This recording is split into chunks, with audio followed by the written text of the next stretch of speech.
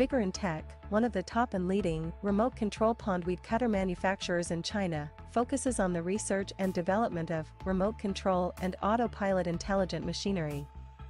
They are widely used in lawn mowing, weed cutting and bush trimming, suitable for orchard, steep incline, front yard, garden, wasteland, farm and so on. The remote-operated robot lawnmower for hills adopts C and EPA approved gasoline engine, adjustable blade height by remote control, 200 meters long distance remote control, travel speed up to 6 kilometers per hour. We are looking for distributors and dealers all over the world. You are welcome